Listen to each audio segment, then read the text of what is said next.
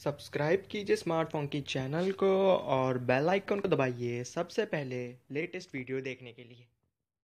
Hello दोस्तों, smartphone की channel में मैं आपका करता हूँ दोस्तों स्वागत। दोस्तों, यदि आपका कॉरपोरेशन बैंक में अकाउंट है और आप यदि के कराना चाहते हैं तो ये कॉरपोरेशन बैंक का ये के फॉर्म भरना होगा।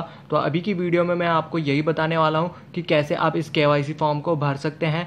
वीडियो शुरू करने से पहले, यदि आपको आई वीडियो पसंद तो लाइक ज़रूर कर देना, दोस्तों के साथ शेयर कर देना इस वीडियो को।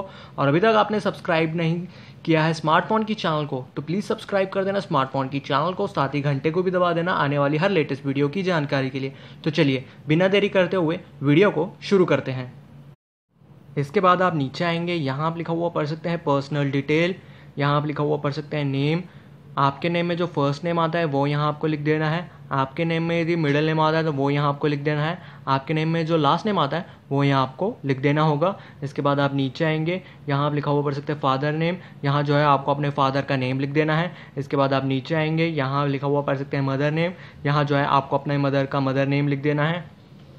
इसके बाद आप नीचे आएँगे, यहाँ आप लिखा हुआ पढ़ सकते हैं डेट ऑफ़ बर्थ यहाँ जो है आपको अपनी डेट ऑफ़ बर्थ लिख देनी है। इसके बाद आप नीचे आएँगे, यहाँ आप लिखा हुआ पढ़ सकते हैं जेंडर यदि आप मेल है तो मेल पे टिक कीजिए, यदि आप फीमेल है तो फीमेल पे टिक कीजिए। मैरियल स्टेटस यदि आप मैरिड है तो मैरिड पर टिक करेंगे अनमैरिड है तो अनमैरिड पर टिक कीजिएगा। सिटीजनशिप यहाँ जो है आपको इंडियन पे टिक कर देना है। रेजिडेंशियल स्टेटस यहाँ आपको रेजिडेंट इंडिविजुअल पे टिक कर देना है ऑक्यूपेशन टाइप आपका जो भी ऑक्यूपेशन आता है, आपको उस ऑक्यूपेशन पे टिक कर देना होगा, और यहाँ जो है, आपको अपनी फ़ोटो लगा लेनी होगी। इसके बाद आपको नीचे आ जाना है यहाँ आप लिखा हुआ पढ़ सकते हैं प्रूफ ऑफ़ आइडेंटिटी यहाँ जो है आपको अपना आइडेंटिटी का प्रूफ देने की ज़रूरत है। आपके पास इनमें से जो भी डॉक्यूमेंट है, उस डॉक्यूमेंट पर टिक कर, उस डॉक्यूमेंट के सामने उस डॉक्यूमेंट का डॉक्यूमेंट नंबर लिखना होगा। मान लीजिए यदि आपके पास पैन कार्ड है तो यहाँ आपको पैन कार्ड पर टिक कर, यहाँ जो है आपको अपने पैन कार्ड का पैन नंबर लिखना होगा।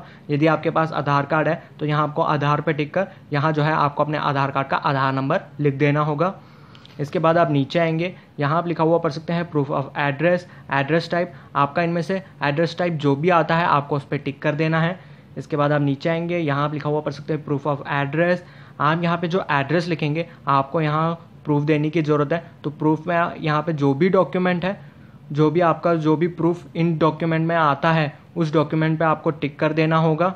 डॉक्यूमेंट पे टिक कर देने के बाद यहाँ जो है आपको अपना एड्रेस लिख देना है। यहाँ जो है आपको अपना सिटी लिख देना होगा, यहाँ जो है आपको अपना पिन कोड लिख देना है, यहाँ स्टेट कोड लिखना होगा अपना, और यहाँ जो है कंट्री कोड में आई और एन लिख देना है। इसके बाद आप इस फॉर्म को पीछा करना है। आपने जो पीछे एड्रेस लिखा है, वही एड्रेस आप यहाँ पर भी लिख सकते हैं। यहाँ आपको सेम एज करंट पे टिक कर देना होगा। यहाँ जो है आपको अपना सिटी लिख देना है, यहाँ जो है आपको अपना पिन कोड लिख देना है, यहाँ जो है आपको अपना स्टेट कोड लिख देना है कंट्री कोड में यहाँ आपको आई और एन लिख देना होगा। इसके बाद आप नीचे आएँगे, यहाँ आप लिखा हुआ पढ़ सकते हैं कॉन्टैक्ट डिटेल प्रिफिक्स कोड में आपको सबसे पहले नाइन वन लिख, यहाँ जो है आपको अपना मोबाइल नंबर लिखना होगा।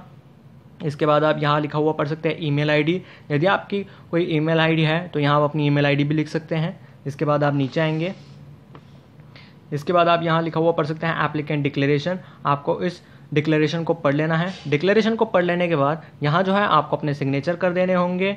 यहाँ जो है आपको अपना प्लेस लिख देना है। और आप जिस दिन इस फॉर्म को बैंक में जमा कराएँगे, उस दिन की डेट यहाँ आपको लिख देनी होगी।